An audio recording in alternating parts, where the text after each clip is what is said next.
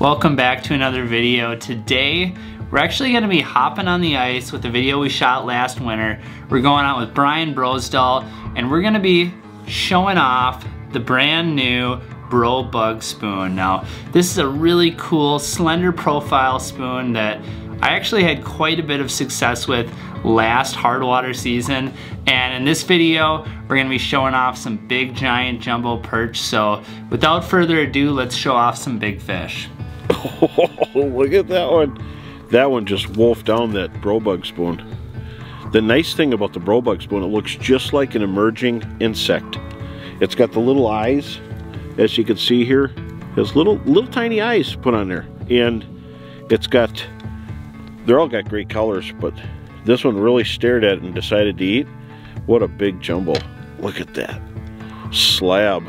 Now before we go too deep on presentation and this brand new spoon, let's get a quick master class from Bro on wintertime perch location. Today we're fishing a basin, but we're fishing a contact point, like a little bottleneck. And if you go into just a big open basin, there's a lot of water to fish. So we want to make good contact with the fish. So we're fishing a little edge that saddles and bottles necks into another big basin and the fish are moving through. Now there's not a steady stream of them, but they're nice fish. And these are the cryptic spots that I like to find that typically you can have all to yourself and there's not a soul around. Now Bro is truly like a perch magician. He has caught so many big fish all over the perch belt and uh, it seems like he just has a sixth sense like he knows where they live he knows where they're moving and when I've fished with Bro there's been two primary types of spots that we've fished and Bro's gonna break those down right now you know, there's different spots where you're going to be drilling for every 10 holes, you'll get a couple of perch. So you're drilling all day long just to get a handful of perch. And there's other spots where the perch just keep cycling through. There's always a crowd of small perch, little school of hang-around perch. When they disappear, you know the big ones are coming through. Uh, but these areas are great areas because if, if you like to run and gun, I, I do too, but there's a time and a place to sit and hammer them. Channels and bottlenecks or, or lake basin meets another basin. Uh, these are areas that are going to be busy all the time. And add insect life, and you'll know there's insect life if you see other fish showing up too, whether they're tullibees or suckers or anything. That means there's there's bloodworms and there's feasting going on. These areas will hold fish. And the areas you have to drill out, big flats, large expansive flats with chara beds. You might have to drill just to find the right one, the one that has the most plume, most cover. But today, we're fishing a basin, we're necks down and catching fish like crazy without moving. Now, as promised, we're gonna break down this little guy right here, the Bro Bug Spoon, which is really a cool, unique bait. It's got that slender profile, which helps it get down in a hurry, but it also has these awesome little buggy eyes on either side.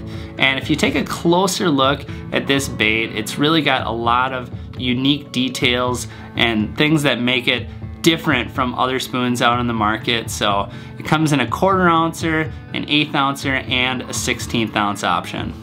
This little one here works really well. That's true Wonder Bread without the purple. Great color. That big fish just came out of the school of perch and grabbed it. And that uh, tumbling and falling action is good.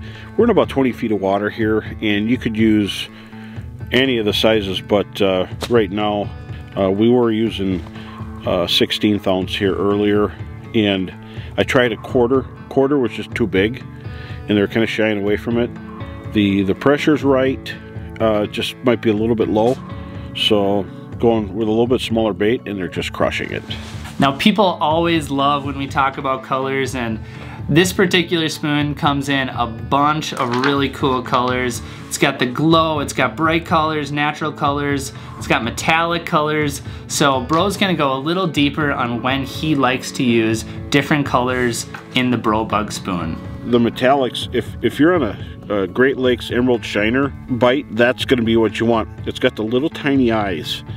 You, if you look in there, you see the eyes, and it's got the scale pattern. So it could fall, fall as an insect or a small minnow. Uh, do you like glow? Do you like orange? Or do you like a nice metallic color? it's all in this one. Really cool, all wrapped up. Cool patterns with the eyes. Uh, red and glow. Glossy. Backside has slight back black and then real bright glow red. One of my favorites, green chartreuse. Look at the orange. Look at those dots. Kind of looks like some of them Great Lakes crankbaits you'd see, you'd see out there. Just cool colors. And this has been a hot one for us today in the 16th. That's Purple Wonder Bread. Really cool. And all of them have eyes. They drop fast. And when you jig them, they go to the side and they shimmy. And that's been the thing. Uh, there's another pink tiger, of course, and and hot tiger. Um, great patterns. I've had a lot of success already this winter. I've tried them, and gonna be great. Now obviously we got into some big jumbo perch on this particular trip and bro talked a little bit about how he likes to use this spoon for walleye fishing as well. In particular this biggest quarter ounce size but it's also a great spoon for pan fishing. Now obviously most of you will think yeah of course Nice little slender profile, this is gonna be a great crappie bait. But Bro also likes to use this for bluegills. Now I'm gonna let Bro talk a little bit about why he thinks this is such a good bluegill bait.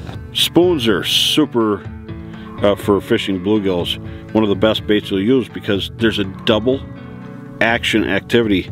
Uh, the treble hook, the, the uh, split ring, move and make noise, and there's times the spoons just outfish anything else for big bluegills as, as well as crappies. And I'll put a spoon on any time I know there's big bluegills around. And load it up drop it down and just shimmy it. But it will outfish a jig style bait a lot of times especially if their activity level's low or if it's high. You, you could just get them to go. So I always have a spoon tied on the bug spoons an ideal bait for bluegills because it looks like a little insect. And bluegills will feed on young of the year perch or small minnows right before their spawn. So late ice or even in the middle of the winter, it looks like a little snack to them. Now I personally have not spent a ton of time fishing spoons for bluegills, but it's something I'm definitely gonna try more this winter, especially with this little 16th ouncer, a couple worms on the bottom. When I know that I'm in an area where there's gonna be some bigger plus size bluegills, I think I'm gonna experiment a little bit more with spoons this winter when I'm chasing panties.